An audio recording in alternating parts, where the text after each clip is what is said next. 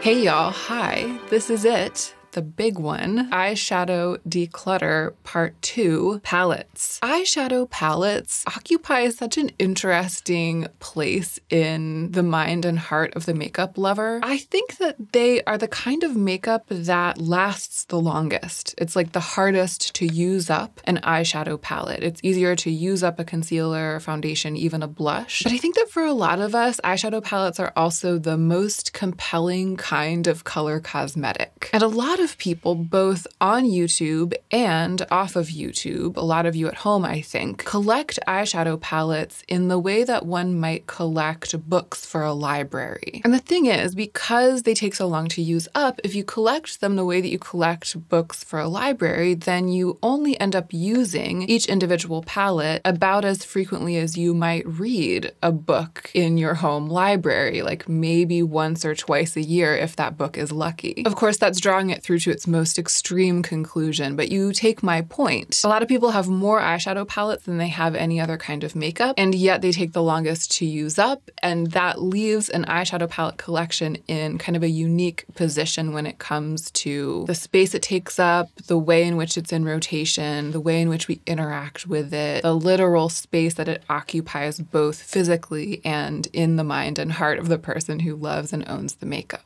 I think that a lot of my friends who have huge eyeshadow palette collections have made peace with the idea that it's like a library. That's what they want. And I absolutely have no criticism of that decision. If it's a conscious choice, if you enjoy having that kind of abundance, then go and get your life. And I love that for you. But the choice that I've made for myself, the conscious choice I've made, is that I don't want that. And my desire for a really small, manageable, edited eyeshadow palette collection, it doesn't necessarily come from a place of feeling like I need to use up my palettes. I mean, you know, the big difference between books and eyeshadow palettes, one of the big differences is that makeup is technically a perishable good. It's a consumable in a way that a book isn't. So a book, you can read it once or twice a year and you can do that for the rest of your life. But an eyeshadow palette, you use it once or twice a year for a couple of years and then it's expired. But that's actually not my reason for wanting to downsize my already relatively manageable by many people's standards eyeshadow palette collection. My reason is simple. I want to simplify. I just don't want to have this many choices. I don't want to have to keep some of them in storage and one or two on my vanity and rotate them out, which is what I've been doing for the past six months. It hasn't really been working out for me. I haven't really been using most of my palettes. I've kind of been forgetting that they're there. And then they sit there in storage with what is for me this kind of clogged static energy. I would rather have nothing there than have them sitting there in storage waiting for me to remember them and rotate them out once or twice a year. So, my goal, because of what will feel best for me, is to edit this down to a number of palettes that can actually fit in my vanity drawers and be considered every day. I want to be able to just look at all my eyeshadow palettes every day and be like, which one of you do I want to use? And for this to turn into that, I'm going to have to let go of most of them. So hang on to your hats. This is likely to be the most shocking of my series of declutter videos here in the winter of 2022. And lastly, before we start, a little bit of perspective for you. There is actually only one eyeshadow palette in this entire group that I bought with my own money because I wanted it. I'll tell you what it is when we get there. All of the rest of them were either sent by brands for me to review, purchased by my business for me to review, or given to me as gifts. That's going to make it easier for me to pare it down. And I hope that that information will also make it easier for you to put the declutter that you're about to see in perspective with relation to your own life and your own makeup collection. And now, let's get into the meat of the video.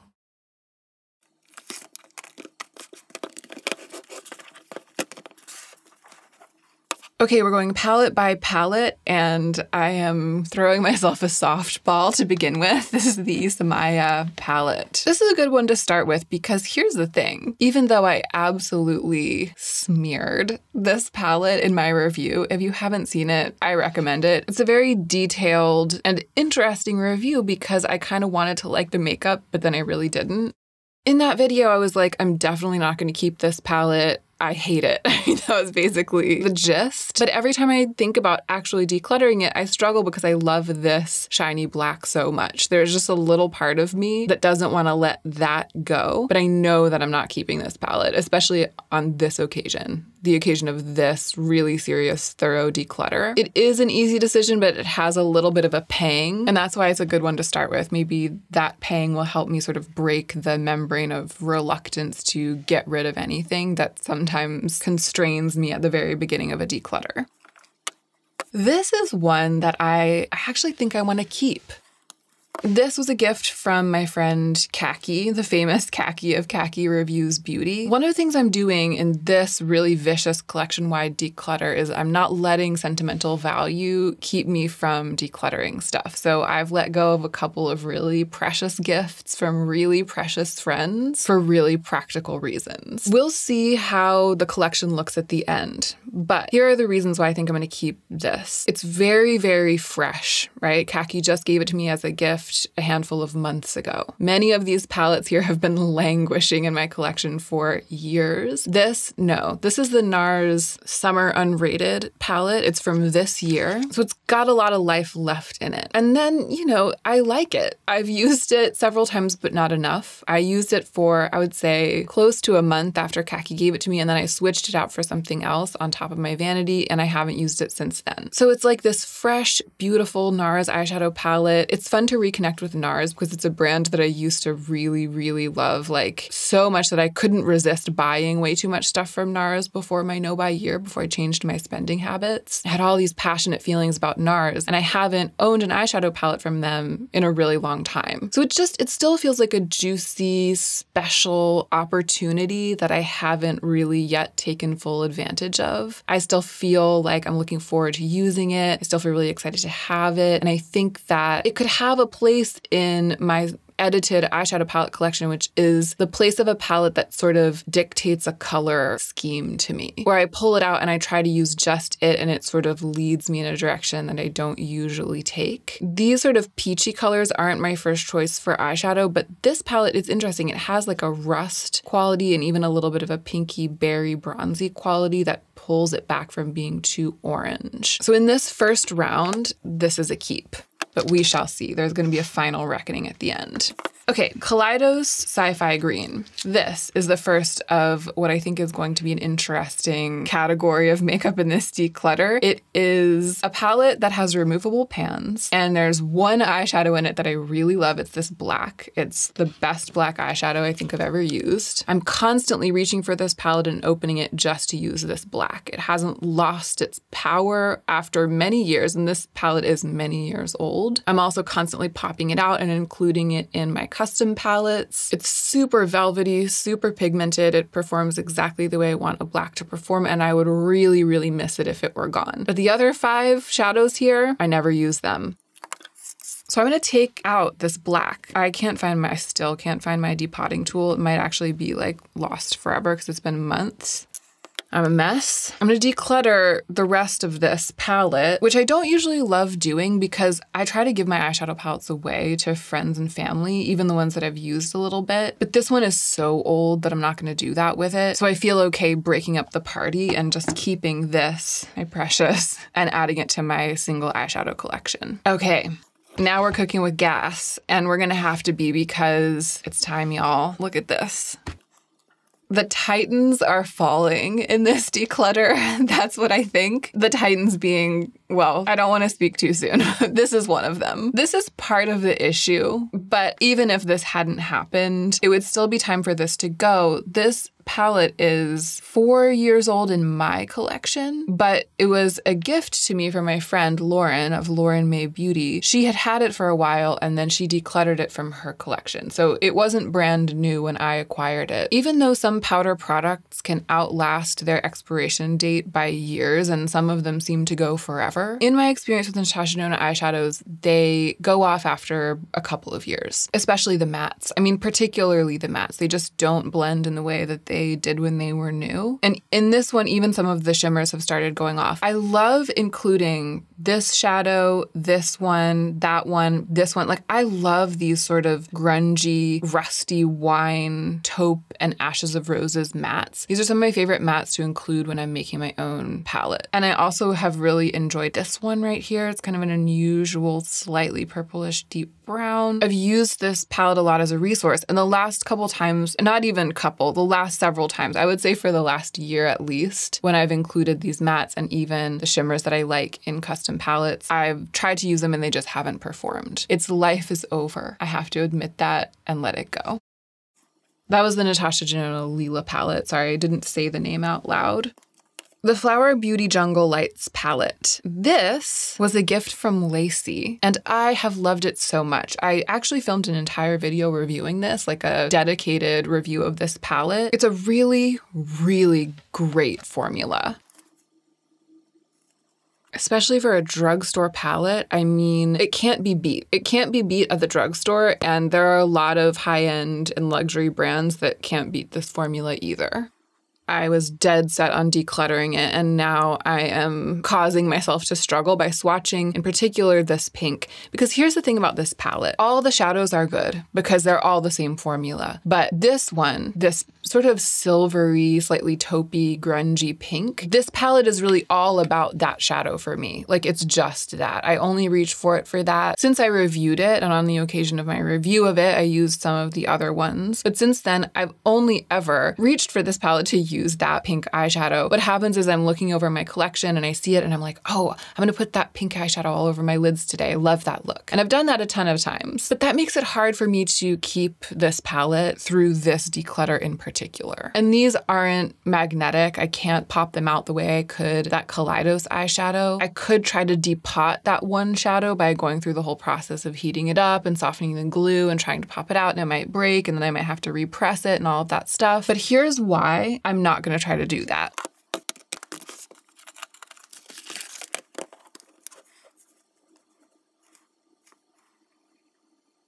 Okay, they're really not the same. I think of these two shadows as sort of being the same. They're really not the same. Well, on my finger, once they're swatched, they look much more similar than they do here spread out. And, you know, built up on the lids, they're both going to take on this kind of silvery intensity. But it's because of the texture, that really satisfying, crushy texture, that they occupy kind of the same place for me in my heart. This, the Pat McGrath Moonlit Seduction palette is one of my most used palettes. Since I got it for review, I've used it constantly, like weekly and often multiple times a week. So even though they're not the same, I'm, I've been kind of feeling like, oh, I have that crushy sort of silvery pink in this palette, which I'm definitely keeping. This is making me want to just like see if I can pry it out even without softening the glue. This might be a disaster.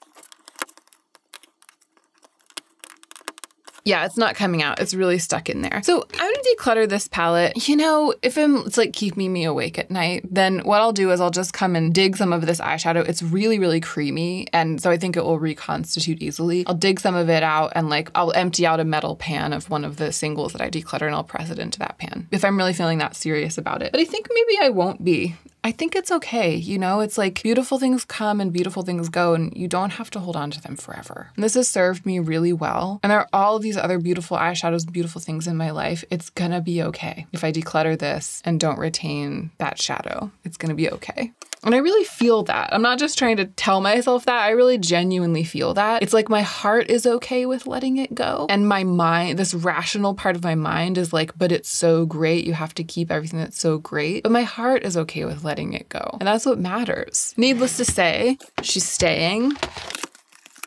I've been keeping my Moonlit Seduction palette in this cardboard packaging because I have another Mothership palette, Midnight Sun.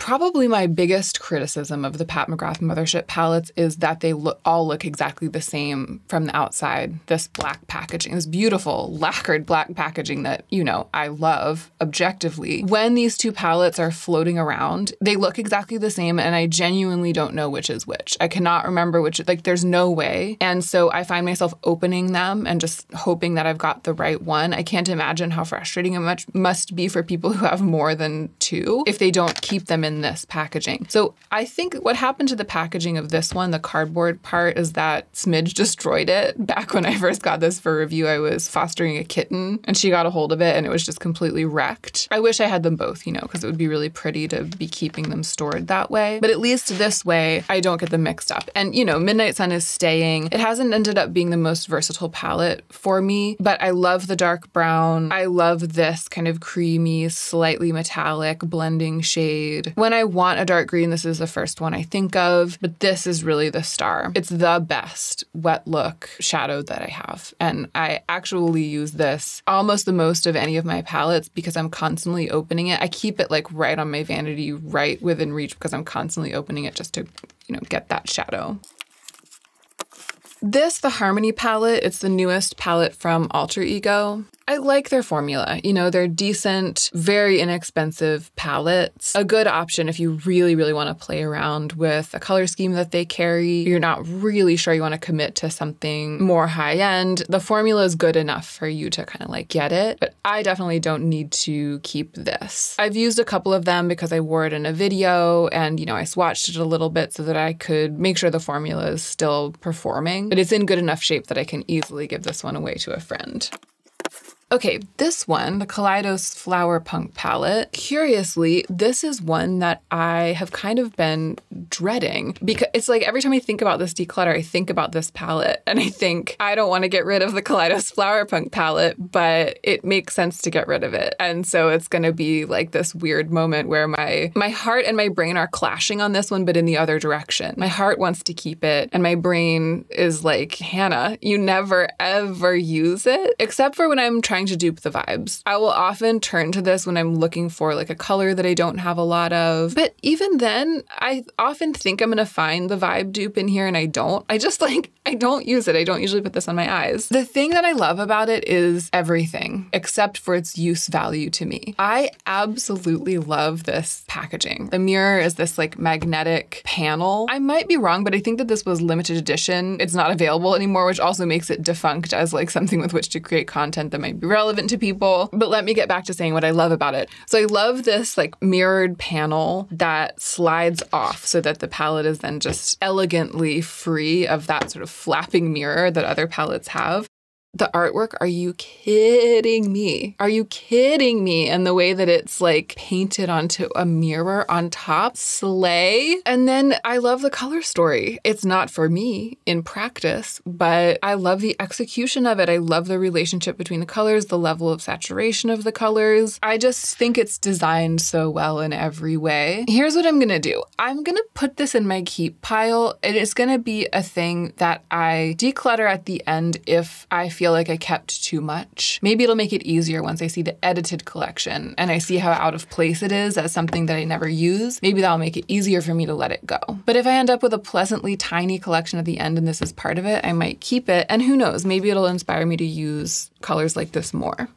Okay, this is the one that I bought myself. It was recent. This is part of Pat McGrath's holiday collection this year, like this holiday. It's this little quint. It's called Bronze Bliss. I did review this and apply it on camera. I've kind of come to suspect that the formula is a little different than her usual eyeshadows. I've heard a lot of people say that. My experience kind of does bear that out. They're just a little bit less super intensely packed, pigmented, controllable in every single way. I usually use brushes with Pat McGrath's eyeshadows because I think that they're really meant to be manipulated to the absolute fine finest point of precision and control with a brush. These don't feel quite like that. I, I like use my fingers with them and buff them out and sort of fluff them all over the place, a little more like normal eyeshadows, like shadows from other brands. However, the colors, the textures, everything about it is perfect for me and I use it all the time. Funnily enough, when I did that review, this one, because it has kind of a coppery tinge, is the one that I said disappointed me the most. I was hoping it wouldn't be coppery and it would be more of a neutral bronze. But this is the one I've ended up using the most. I constantly open this palette and put the merest touch of this all over my lids just to give them a tiny bit of sheen, like a satin sheen and a tiny bit of depth. But that coppery warmth makes it really blend into my skin and makes it just almost look like it's of my skin, a subtle makeup look. I mean, I'm, I've worn it again like once or twice a week, every week since I've gotten it, worn it in that way. And sometimes I'll go in with the other ones to accent and make a more complex look.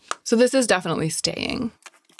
The Gucci palette. I'm keeping it, y'all. I actually love using it. One of the things I'm looking forward to, as I am with all of my declutters, is having fewer things so that I can use the ones that I love more. I actually love the looks that I get with this. I actually I did a full review of this, so if you want to know everything, it was like a year ago. Try to remember to link it. I was very thorough about the formula in that and the colors. But here's how I'm feeling a year later. It isn't the top quality creme de la creme of formulas when it comes to longevity. Sometimes I get a little bit of that kind of creasiness. And maybe I said this in that review, I can't remember. It's these ones you can actually see they're the ones that I've used, right? Like this one, this one, and this one. And sometimes this kind of rusty red, but it's really these three and especially these two that I've used the most. I love the sort of ever so slightly satiny shine finish. I love the way that that looks. And when it starts to crease later in the day, it doesn't look too bad. It's a little bit of like soft Rowan vibes, like a little bit of that editorial creasiness. At this point, that's probably my main complaint with this formula, but it doesn't bother me that much, you know? They're on the softer side, these shadows, you know, but I am as in love with the packaging and the color story as I was before. I love to see it on my vanity. I love to open it. I love to look at it. It was also a gift from my husband. I think I might not keep this bag anymore. It's looking like pretty ratty, but I'm going to keep this. I'm looking forward to having it shine as a member of my much edited eyeshadow palette collection. ColourPop, it's a mood has been so great to have, endlessly useful when it comes to single shadow building my own palette videos, endlessly useful when it comes to duping the vibes. I quite like the ColourPop formula. I, I really quite like it. And this kind of has everything, and all of the shadows are saturated or sort of off pure, like slightly grungy in the way that I like, like in, slightly in the jewel tone direction or slightly in the muddy direction. It's just been great. However, I'm not going to keep it because it's not my precious. It's useful, you know, but even when I use it to dupe the vibes, use some of these shadows to create palettes, those shadows in those palettes those little custom palettes that I've created are never my favorite of the ones that I've included in that palette. You know, it, they're just these sort of useful stopgap, checks all the boxes things. It's like they check all the boxes except the box of specialness and the box of lighting me up and making me feel those warm, fuzzy feelings. I'm not even gonna pop out any of the shadows. If I were to do that, I would probably take Ritual. I love a pressed glitter. I'd probably take Wanna Go. I end up using that one in a lot of custom palettes. I even love Echoes. This was in my most recent custom palette and I've used it a lot. But there's no part of me that's like, no, I don't want to see it go. Every part of me is like, yeah, this is something that can get weeded out in the interest of simplifying and intensifying the specialness of the collection that I keep. Okay, these Viseart palettes. Uh, this is kind of a tough one as well for me, sort of for similar reasons. These were PR. They were sent to me for review and they're fantastic. I haven't decided about these yet. Like, I, I just don't have clarity on it. I think that it, this is a case where my he head is saying keep them. Intellectually, it's like keep them. And I'm sort of looking for reasons. But my heart is saying they're so practical and then they don't have that like gooey deliciousness feeling. Like I think about my Pat McGrath palettes and I just, they feel gooey and delicious to me. And these just, they feel like really reliable, really well formulated, high end makeup. I love this packaging the sort of foldable. They're so, they'd be so great for travel. It's really sturdy. I feel like they're really well protected in there. It's also compelling on a tactile level. Like these little palettes feel good to hold. They feel good to have around. And I'm constantly popping shadows out of here to include in my custom palettes or duping the vibe and stuff like that as well. I find them really, really useful. I just don't want them anymore. I don't long for them. Like if I, if someone took them away from me, I wouldn't long for them. I think it's because because they're Viseart is all about matte shadows. You know what I mean? Like this is an all matte palette and this one is half mattes and half shimmers. Again, really practical, but I just don't like the shimmers very much. I think these will make really great palettes for someone else. That's the way that I'm gonna make this make sense for me. All of the great qualities that have just been expounding upon, those are the reasons that these are going to really please someone else and work really well for someone else. They're just not a match for me. I've been making good use of them. I've been doing my best. They're just not the kind of thing that makes my heart double beat.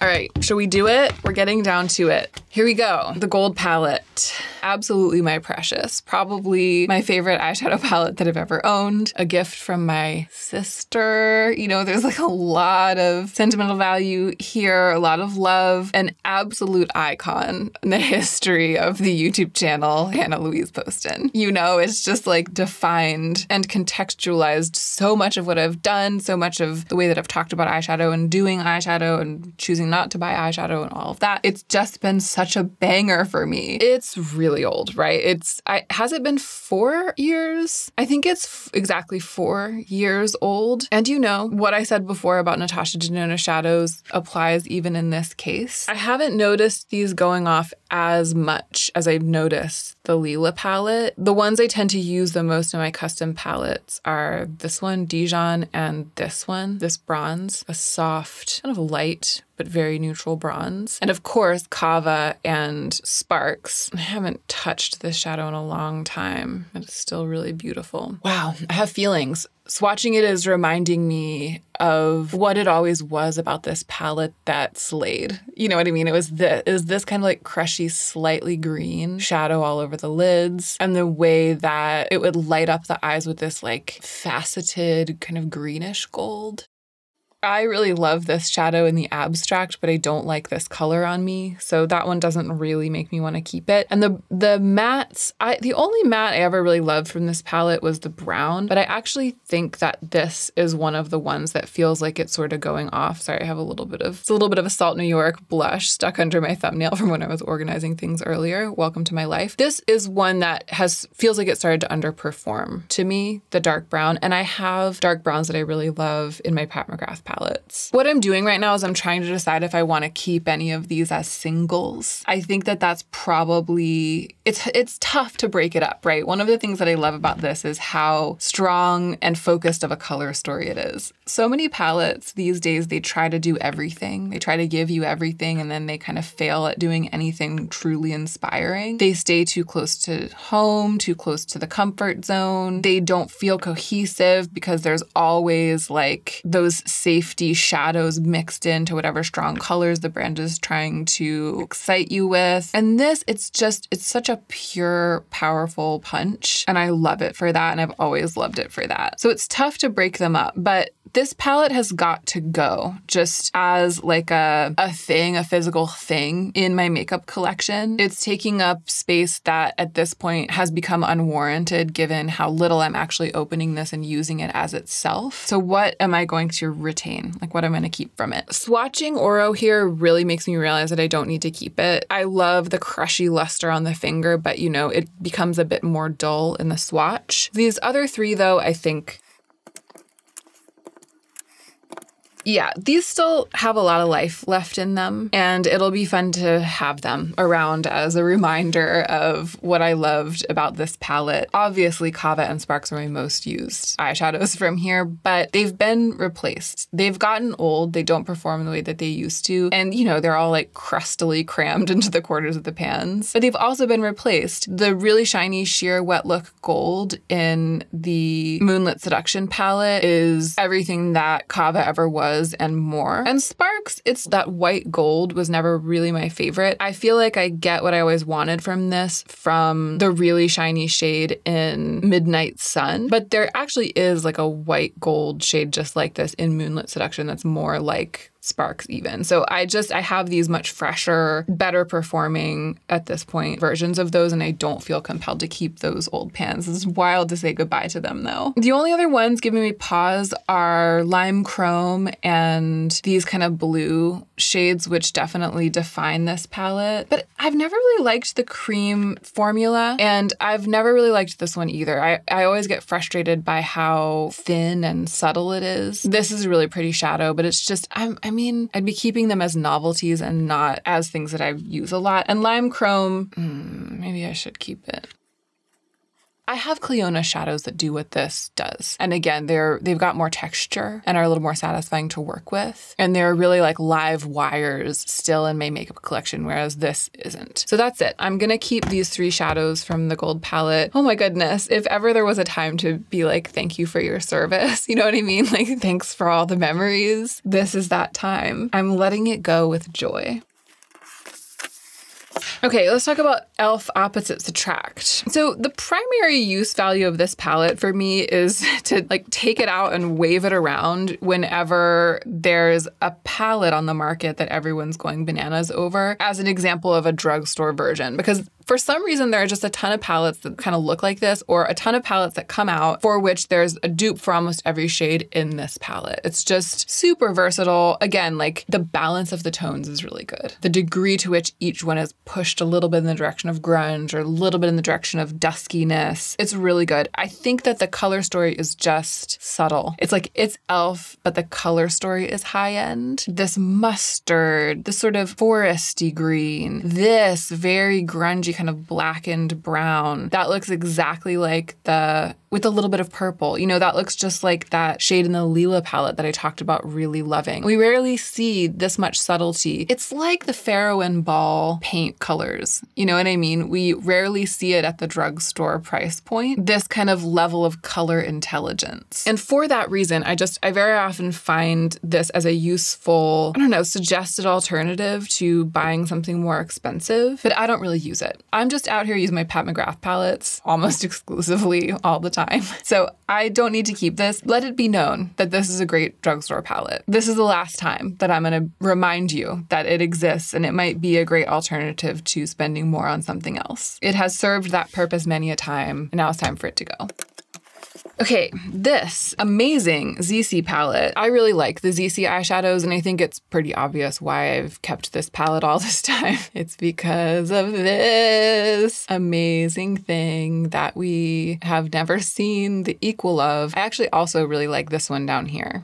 I like that all over the lids as well. I wonder if I can get these out. I don't think they're removable, but that one felt kind of loose when I was swatching it.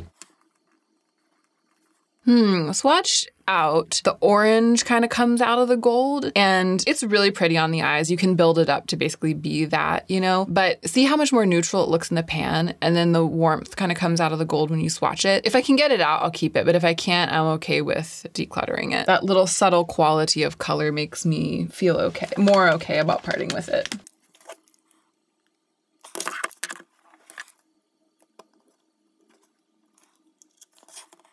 It came right out. It's not supposed to. There's glue in there, but uh, I think the glue had just come loose. This one too. Yeah, that one I had to break the glue, but it was soft enough. I'm just using this paper towel to press them more firmly back in so they won't make a mess. There's still glue on the bottom of this one. I'm gonna have to stick magnets to them because they're not magnetized, but I have some spare magnets that I can do that with.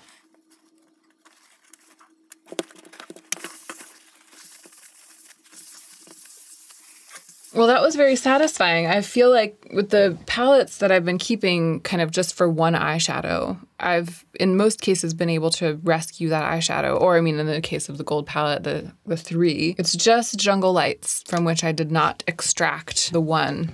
All right. This is another thing that I've been dreading. Like when I think about this declutter, I think, oh my gosh, what am I gonna do about Angie's palettes? It's my friend Angelica Nyqvist. She is so good at designing palettes. And this is her collab with Kaleidos Club Nebula. And this is her collab with Odin's Eye. I actually actually use them kind of a lot because the formulas are good. And well, here's what I do I use like a third of each one of them kind of a lot. So, what I tend to use in the Club Nebula palette is these purples. I just love the way that they blend out these mattes. I also tend to reach for these blues a lot when I'm duping the vibes. And sometimes when I'm doing that, this palette will sort of push me out of my comfort zone. In this one, the Odin's Eye one, it's this dark, shiny black that I absolutely can't get enough of. This dark plum, really sooty, incredible. The shade name is Soot, can't get enough. And River, which is like a shiny, you know, a banging duochrome or even a multi-chrome. It's funny, it's the mattes. And I mean, that's so Angie because she's amazing with colorful mattes and dark mattes. And even though matte shadows aren't what I tend to use, when I do want them, I want these sort of extremely well formulated, subtly color balanced, deep mattes.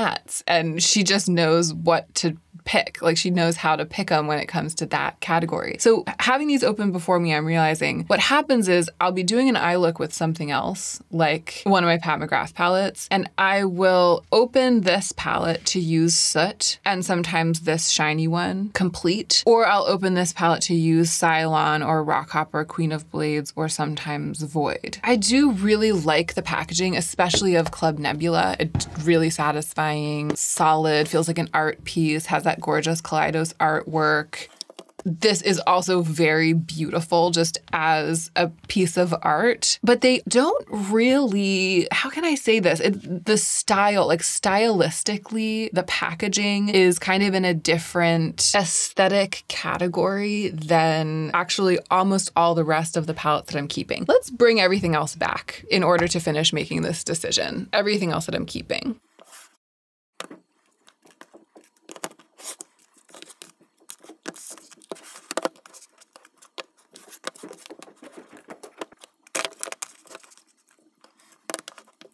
Okay, so this is too many for me. I know this is not what I had in mind when it comes to an eyeshadow edit. Right away, uh, I think I now have the, the, bravery to let go of Kaleidos Flower Punk, even though I just really love it as an object. My desire to really, really condense and whittle is coming into play now in this last wave, and it's helping me cut the cord. The other thing about it is that if I want color, I actually do have in the funniest place, right? I have this kind of unusual for me blue. And even though these aren't, this is like sea green, teal, and this is like a glowing periwinkle, I so rarely go in this direction that to me they kind of serve the same purpose. I'll happily use the one, this one in the Gucci palette anytime I want something like that.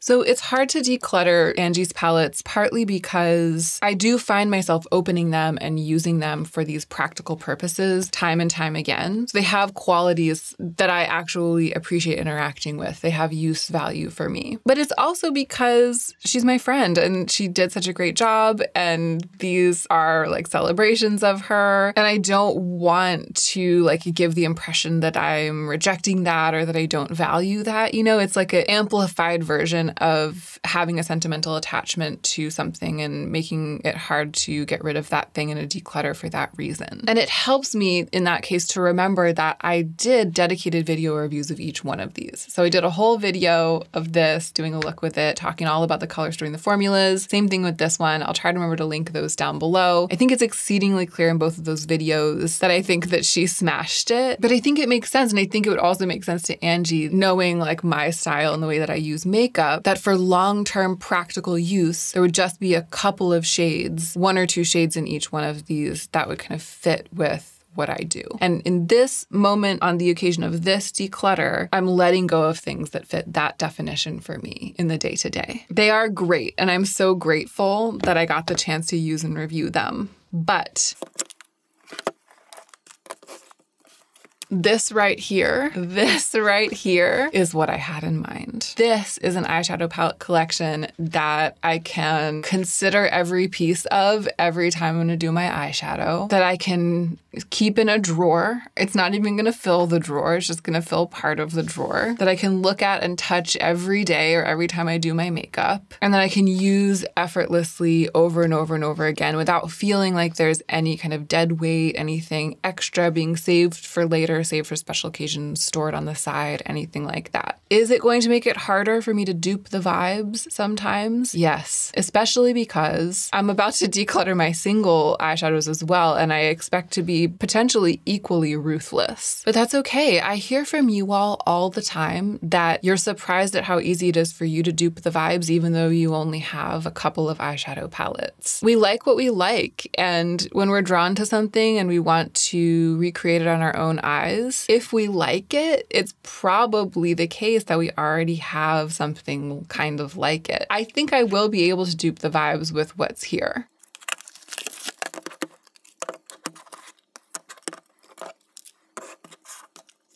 But if I can't, if I if I find myself wanting to create certain makeup looks and I turn to this eyeshadow palette collection and I can't make the look that I'm imagining, if I can't dupe the vibes on camera, that'll tell me something, right? Maybe it'll tell me that I actually want a little bit of a more robust eyeshadow palette collection than I thought that I wanted. And then I'll act accordingly. But in this moment, I feel like I have everything that I need right here. The color story altogether is very pleasing to me as well. And it makes me feel even better about all of the decisions that I've made.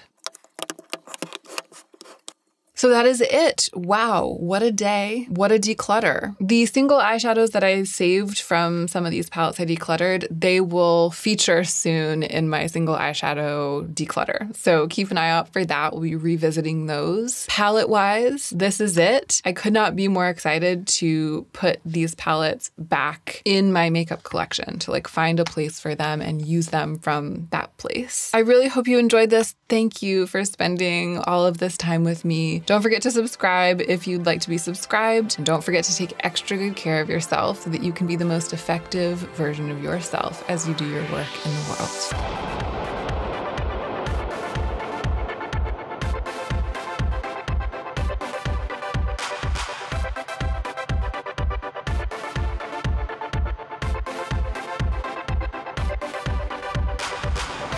Please take a screenshot of this, Joe. If you're editing this, take a screenshot now.